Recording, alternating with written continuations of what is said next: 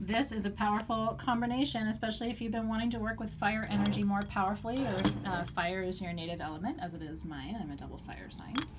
Uh, this is Bonfire Perfume, and you get as our gift a beautiful fire agate sphere. Aren't these beautiful? It's like holding the sun in your hand. They look like candy here, I have to admit. No calories. Lots of potent energy. Look at that one, it's just glowing from within. Fire agate's all about motivation, action, vitality.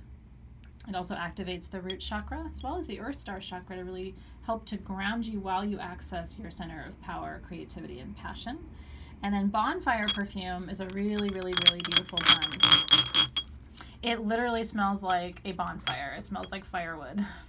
And so it's energizing and activating. It also works as a sacred offering in your ritual process, and it's going to help you welcome energies of summer.